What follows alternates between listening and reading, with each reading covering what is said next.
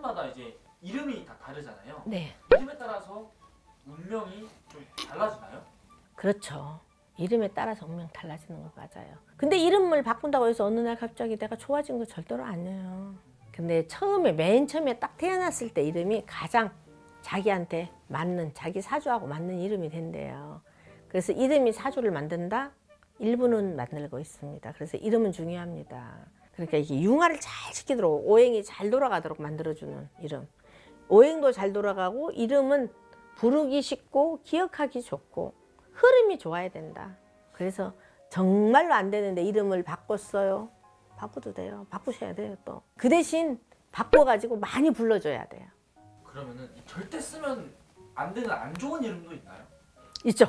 춘자 봉자. 봉자 이름 가진 사람들 보세요. 봉자가 들어가면 이상하게 봉이야. 기봉아, 성봉아, 뭐 진봉아, 봉순아, 봉자야 하는 거.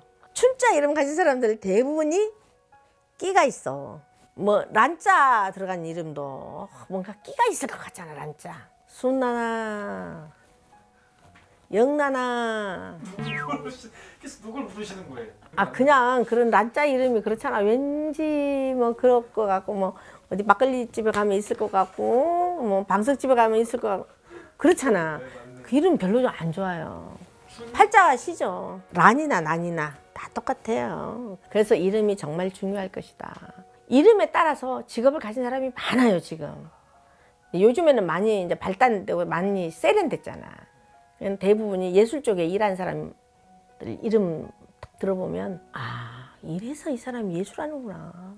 학자들은 대부분 보면 성함이 그러면은 다 그런 이름들이에요. 아 학자가 될 수밖에 없었구나. 그래서 중요해요 이름. 그래서 아이들 이름이 부르기만 좋다고 되는 거 아니에요. 그래서 요즘에는 이름을 그냥 짓는 게 아니고 오행도 맞추고 영문자로도 요즘에는 맞추더라고요. 소리도 정말 중요해요. 파장이니까 소리는 소, 소리는 벌써 파장이잖아. 강한 사람을 좀 더 순하게 만드는 연하게 만드는 음, 뭔가를 만드는 그런 파장이기 때문에 이름 정말 중요합니다.